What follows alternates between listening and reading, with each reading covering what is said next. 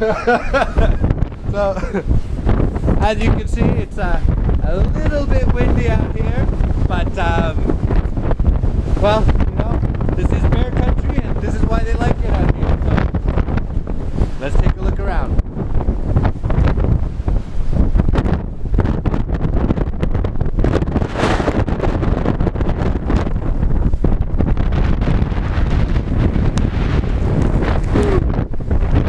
it's kicking.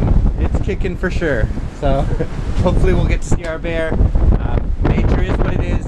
Uh, you gotta go. You gotta have, at least you get to experience um, wilderness because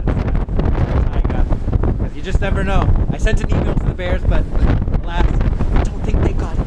Let's kick back in here.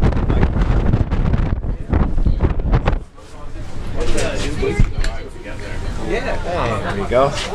Um, so now I can go back and forth. I'm from Australia. My girlfriend's from New Zealand. And she did that three weeks ago to go back to New Zealand.